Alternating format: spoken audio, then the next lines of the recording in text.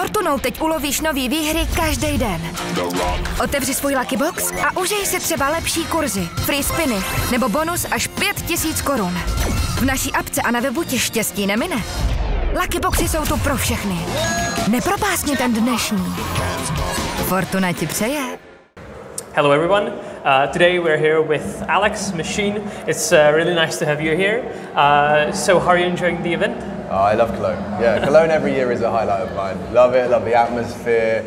Usually love the games. You know, we always get some sort of crazy underdog stories. Sora playing right now in their semi-final. So yeah, it's happening again. Yeah, it's fascinating. You know, it's the Cologne magic, isn't it? Uh, I wanted to, you know, remind ourselves that it's 25 years of uh, Counter-Strike this year, but Damn. you have a very important uh, anniversary coming up next year because I think that it's going to be five years since you first like started exclusively, almost exclusively casting with SPUNJ, and Right. you've become like an iconic duo. I wanted to ask, uh, how are you going to celebrate? Good question. I have not been keeping track. So yeah, probably five years. Yeah, yeah, five Bloody years. hell, I'm gonna tell Chad all about that. Okay, yeah, we'll have to work something out. Go for a beer in Malta perhaps.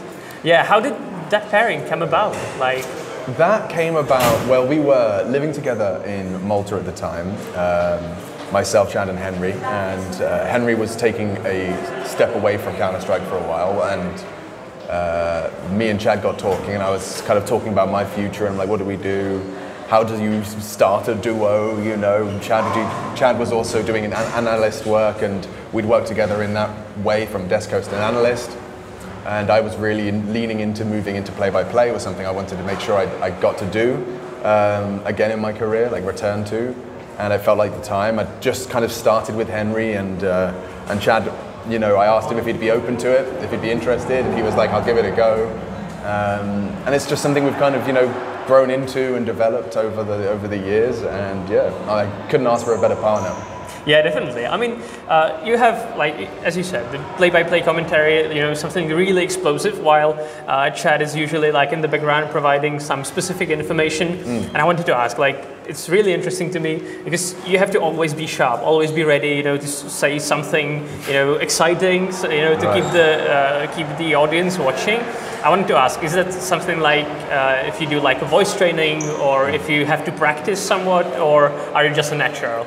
I know I would. I'm actually thinking about getting like a vocal training for like. I'd love to be able to throw some kind of like death metal screams and squeals, especially in like arena commentary. You know, because a lot of the time you get kind of consumed by the crowd. So all you really hear is the caster kind of go, "Oh my god, player name," ah," and I'm making a sound. Imagine if I could do some cool like guttural pig squeals. You know? Oh, yeah, that'd be cool. Yeah. Well, So my, cool. my natural state for a long time, I would. I would squeak. I'd go very high when I was excited because my natural response when I'm excited is kind of just oh my god. It is Yeah, it's not, natural, but it's not yeah. very good for the ears. There's a couple of cringy clips of me just kind of squealing down the microphone that I've had to learn to, to tame and to find better ways to expre- express myself. But uh, I am thinking about getting training, but I haven't had any. Um, but it was always something I did. I mean, the play-by-play commentary. I'm, I've got a very busy brain. I'm, I talk a lot uh, when I'm having fun, and uh, so there was kind of a natural fit in that respect. And it's very nice because typically I get I struggle with focus. My, my focus is quite wandering, and uh, I'm very uh, you know maybe neurodivergent perhaps uh, a little bit. But one thing that helps me is this job means I have to be focused for you know 45 minutes and there's, there's no excuses if you're not focused and you're not doing your job. So it just forces me to be to stay in that mode, which is really good. It helps me.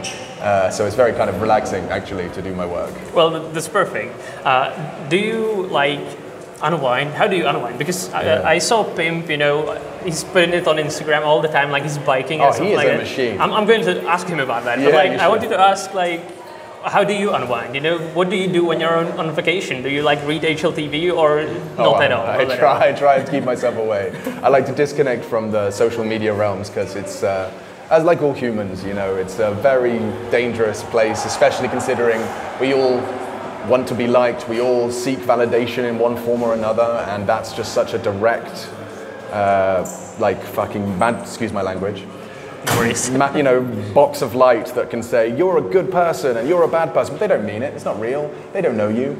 Um, so that's something I try and avoid more now as I grow up. Uh, I definitely would previously find myself looking for that or going through every thread and scroll past 50 comments that say, I like Machine, he's good at what he does, and then find the one comment that disagrees, and I'll be like, he's right, and I don't know. Yeah, it's not good, for, not, not good for the mental health. Uh, so now I'm just, uh, yeah, I kind of keep, steer, steer clear of that when I'm not working. When I am working, I try and maintain a healthy relationship with it. Like, give myself my morning coffee and a scroll of Reddit, and then leave it, leave it there. Yeah, Perfect. Exactly. I wanted to ask, like now we're in Cologne, like legendary place.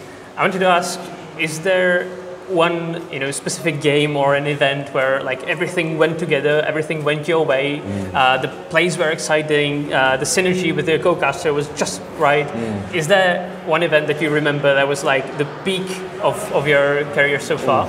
Yeah, I mean, I really uh, will forever remember the Cologne final, FaZe Navi. Like that one was just special, you know. Like, Incredible, It was like poetry, and it was so extra special because uh, it was the first event my mother had visited. You know, she wanted to see my work, so she's sitting there. She watches a seven-hour best of five final. She's like, "Is it always like this?" I'm like, "Not really. No, you just." Just chose a good one. It just felt very special, and I was very proud of some of the, the work I did in that one with Chad. Yeah, that it was so exciting. Uh, We were here and it was Yeah. lovely, lovely. Good. Uh, one last question. There some exciting, interesting times coming for the Counter Strike scene. You know, Yeah. we, we're going to have like the open market for tournaments 2025. Uh, everything is going to be blown wide open. I'm thinking, you know, what are you really looking forward with CS? I think the the changes are exciting because it kind of gets takes Counter Strike back to its kind of as open as possible circuit. There's going to be a lot of games. Teams are going to have to choose sometimes which tournaments to prioritize. You know, we, there may be some matchups that we don't see for a couple of events, which um, which I think could lead to some exciting kind of you know. Uh, clashes. We're like, oh my god, we haven't seen this for three months, and these guys have been winning this, and those won that, and we can have some of that. Uh, but in general, I think it's good. It's healthy for the scene. You know, especially if there's more more events, more teams uh, who are able to compete and to, to play professionally, I think it's, it's only good. It's Yeah. only good things. Ultimately, last question. Yeah, are, no. are we going to get uh, a British major winner? Oh, um, we certainly could. mezii exists. Yeah, he what- he exists. He exists. I'm. Uh, I could see a world very, very much see a world where that happens, especially considering the team around him. Um, seeing him get comfortable in some of his roles. Yeah, it's definitely not out of the realms of possibility. But I'm not like holding my breath. Sure, sure. Well, hopefully it's going to be uh, good air quality in China at the end of the year, and uh, you know, ZywOo pops off, and it's all going to be perfect. Oh man, it would be it would be poetry. It would be great. Definitely. Yeah. Machine, thank you very much Thank you, for having us. It was great talking to you, Thank and Uh, see you around. I appreciate the time. Thank you. Thank you. S Fortunou teď ulovíš nový výhry každý den. Otevři svůj Lucky Box a užij si třeba lepší kurzy, free spiny nebo bonus až 5000 korun. V naší apce a na webu ti štěstí nemine. Lucky Boxy jsou tu pro všechny. Nepropásni ten dnešní. Fortuna ti přeje.